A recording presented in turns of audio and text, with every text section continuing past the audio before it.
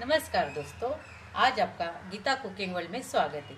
जिन लोगों ने मुझे अभी तक सब्सक्राइब और लाइक नहीं किया है, प्लीज़ सब्सक्राइब लाइक करना है। जिन लोगों ने पहले से मुझे सब्सक्राइब लाइक किया है, उनका दिल से शुक्रिया और धन्यवाद। आज हम बनाने जाले करेला, और जो बच्चे लोग नहीं खाते, ध्यान करके बच्चे लोग खाते रहे हम ऐसे ही हम लोग का ये करेला है, आज हम इसको कड़वा पर निकाल देंगे। इसके लिए आपको मैं सीक्रेट बता रही हूँ दोस्तों, कैसा कड़वा पर निकालना पड़ता है, ओके नेक्स्ट प्रोसेस आपको बता रही हूँ। अभी मैंने 250 ग्राम करेला लिया है, दोस्तों। पहले हम, पहले की प्रोसेस आपको बताते हूँ। पहले मैंने ऐसे करेला, ये नहीं निकाला है, दोस्तों मैंने। ये निकालने से अपना जो मिलता है कैल्शियम, जो कुछ, वो नहीं मिलता है हम लोगों को। तो इसलिए हमको ये रखना है, आगे की छाल।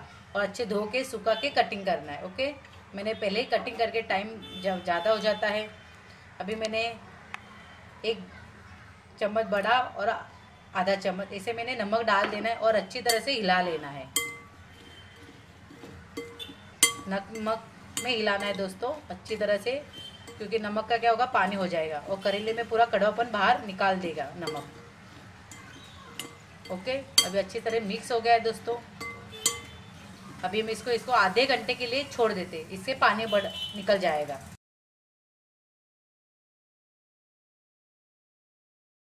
अभी आधा घंटा हो गया है दोस्तों। अभी आपने देखना है, पानी पूरा निकल गया है।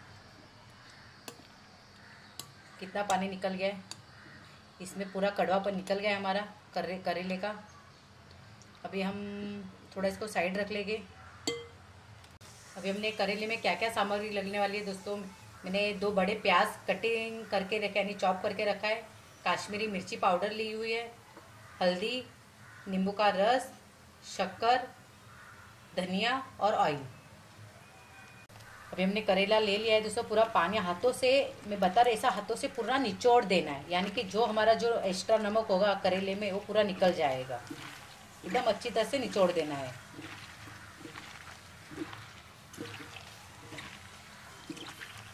ओके, अभी जो एक्स्ट्रा पानी है, हम डिश में निकाल देंगे।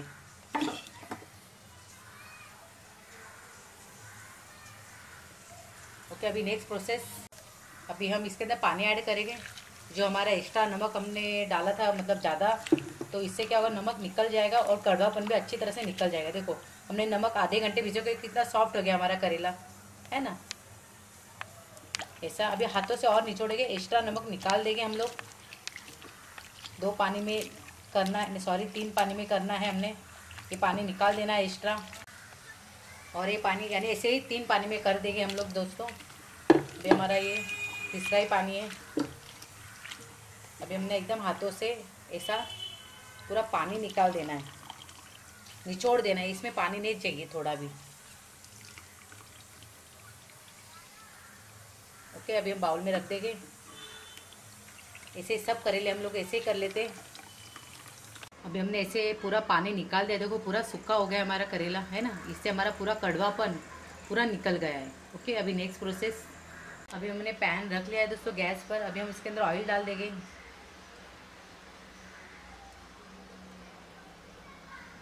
ओके अभी ऑयल हमारा थोड़ा गर्म होना चाहिए, अच्छी तरह से। हमें एक चेक करना है थोड़ा। नहीं, गर्म होना बाकी है। ये इतना टेस्टी लगता है ना दोस्तों, बहुत अच्छा लगता है। और इसमें कड़वापन नहीं रहता है। कि हमने नमक के पानी में पूरा उसका कड़वापन निकाल दिया हुआ है तो इससे क्या है, बच्चे लोग भी खाते हैं। और हमको सेहत के लिए भी बहुत अच्छी रहती है करेला। अभी हम गरम हो गया ऑयल अभी इसके अंदर करेला छोड़ेंगे। पूरा पानी, यानी ड्राई करना और ऐसे ही ऊपर से प्याज डालना है। करेला और प्याज साथ में ही डालना है। तो इसको अच्छी तरह से चलाते रहेंगे।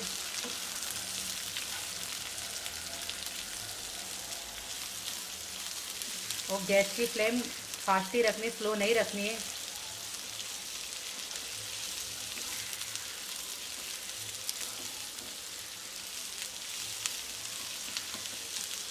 अच्छी तरह से हिला लेना है दोस्तों।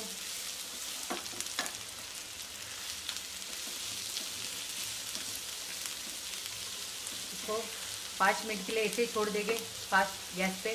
पाँच मिनट हमने हो गया है दोस्तों, अभी इसको नीचे से देखेंगे, देखो। है ना? और एक बार चलाते रहेंगे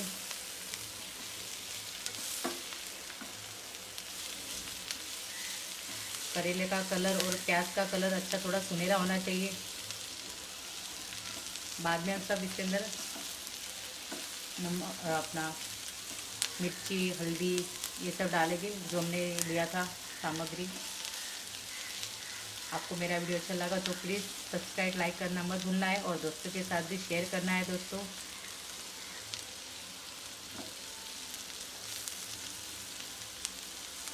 देखो, प्याज का कलर भी सुनहरा आ रहा है अभी धीरे धीरे करके।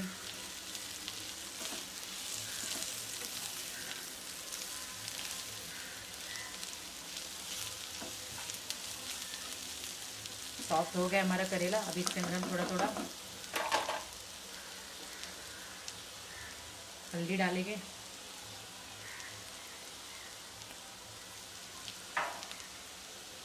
हिला लेंगे हल्दी से।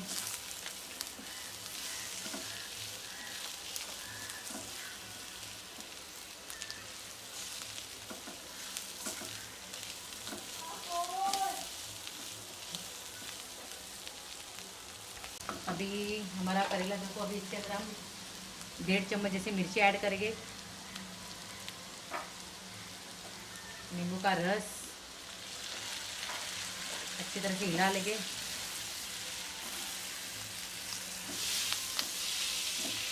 ये हमने काश्मीरी मिर्ची कलर आने के लिए लिया है मैं यही यूज़ करती हूँ दोस्तों, इससे क्या होता है, तीखा नहीं होता है। इससे कलर भी अच्छा आती है और टेस्ट भी अच्छा आती है सब्जियों को। और दिखने में भी सुनहरी लगती है। अच्छी तरह से हिला लेना है। दो मिनट इसको ढक देंगे। मिनट हो गया दोस्तों, हमने देखना है। देखो, एक बार हिला लेंगे अच्छी तरह से। तेल पूरा छूट गया है, यानी हमको समझना है कि करेला हमारा हो गया है। अभी हम इसके अंदर शक्कर ऐड करेंगे, डेढ़ चम्मच जैसा। आपको मीठा नहीं चाहिए तो आप नहीं डाल सकते पर ऑप्शन दे रही हूँ। तो ये शक्कर डालने से अपनी टेस्ट अच्छा आएगी करेले को। बच्चे जो नहीं खाते, बच्चे वो भी खाते रह जाएँगे, उंगलियाँ चाटते रह जाएँगे। अभी हम थोड़ी शक्कर को पूरा पिघलने देंगे अच्छी तरह से।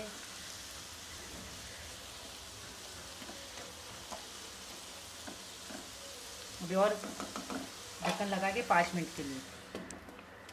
पाँच मिनट हो गया दोस्तों, हमने देखना है। वाह थोड़ा धनिया छिटक देंगे हमारी करेले की सब्ज़ी रेडी हो गई है दोस्तों। है ना? एकदम।